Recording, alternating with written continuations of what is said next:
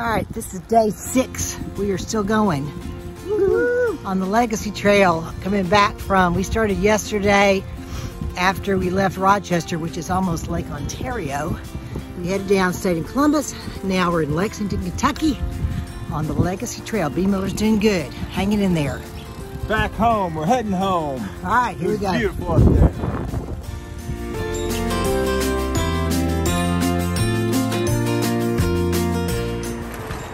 We started um, off Newtown Road and it's right before the 75-71 split. You can hear the interstate.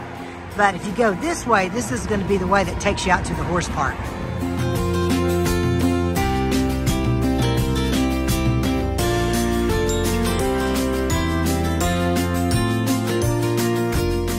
All right, today we did a fun just 20 miler, but this is one of my favorite trails.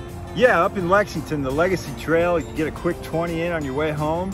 Yeah, and there's the horse park right behind us. It's just so pretty. And um, biking is just so good for you. It's better for my knees. You burn a lot of calories. You see a lot of things. For more information about trails close to where we live in Knoxville, you can go to legacyparks.org or you could Google different clubs like Smoky Mountain Wheelmen Bike Club. It's a great place to start. See on the trail or the road.